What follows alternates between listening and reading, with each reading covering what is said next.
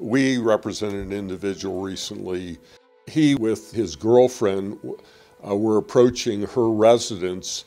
Uh, he was driving. He had uh, very little to drink under the legal limit. And upon approaching the house, his girlfriend entered the house, which was her residence, and he was outside, at which time he hears a scream and he hears a shot. And he immediately enters the residence and notices at the top of the landing an individual pointing a gun at his girlfriend.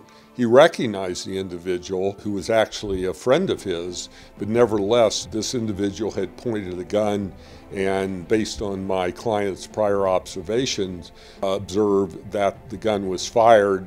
He immediately ran up the staircase and grabbed the individual with the gun, grabbed him by the gun, was able to get the gun away from him, used the gun to strike the individual, the aggressor, and subduing him and further struck him with his own hands several times to further assure that he would not get up and cause you know further potential uh, deadly results.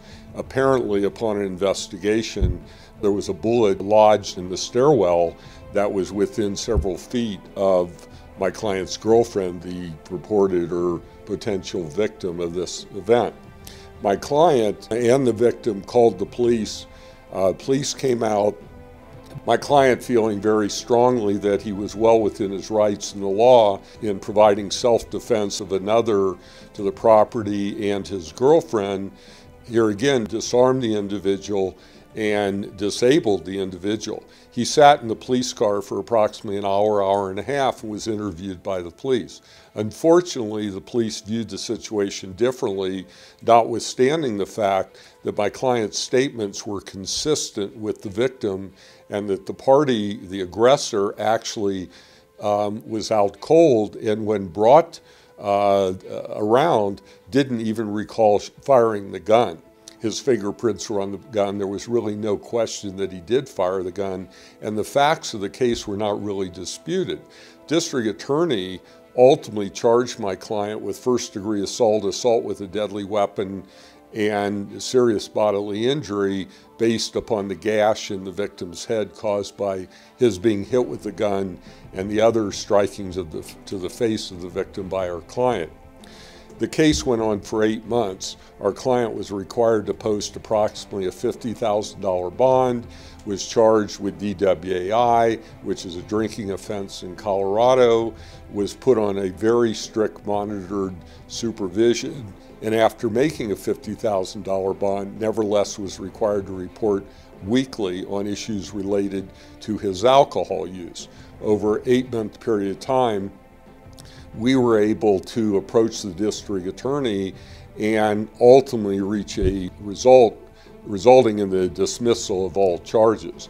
The district attorney, when trying to explain her position in response to my inquiry as to, well, if my client would have shot this individual with a gun, would he have been charged? The answer was no, that would have been self defense. So my inquiry was, you're telling me that by disarming the individual without a gun and subduing him, that that was an appropriate assault charge. The district attorney informed me that she felt by my client striking the individual in the head, he had used excessive force. We thought that was absurd. The prosecution offered numerous felony charges with probation, of which we turned down. They offered numerous misdemeanor charges. They offered deferred judgments, which would result in a dismissal.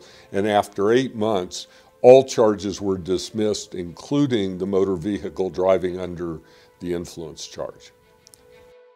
A point that's well worth restating is how imperative it is to not make statements at the scene, not to attempt to explain your situation, notwithstanding the fact you believe you're 100% innocent. In an assault case that I referenced with regard to self defense, our client 100% wholeheartedly believed he had done nothing wrong. What he ended up doing wrong was making statements to the police, and as opposed to saying to the police officer at the scene, I'm represented by counsel we're more than happy to provide you information once my counsel is involved. He decided to try to defend himself. This is a very bad decision under almost 100% of the circumstances. Notwithstanding the fact you may upset the police officer, you aren't going to get charged in a serious case just because you have an unhappy police officer. What will happen is if you discuss the case in detail without the use of an attorney, you may get charged where you otherwise would not be charged. And in that circumstance, you have a very happy police officer. So it's imperative at all stages, commencing when you're first contacted with regard to any form of investigation, is to immediately contact counsel, seek advice, bring your counsel into the fray immediately and allow the attorney to act as a buffer between you and the inquiring uh, law enforcement authorities. And this is an absolute. This is not something that should just be employed when you believe you're innocent. Because a factor that's involved, the most difficult cases to defend in many cases are the cases when someone's innocent because there's no middle ground. Those cases get litigated, and you want to make sure that the evidentiary landscape is in your favor to the degree you can cause that.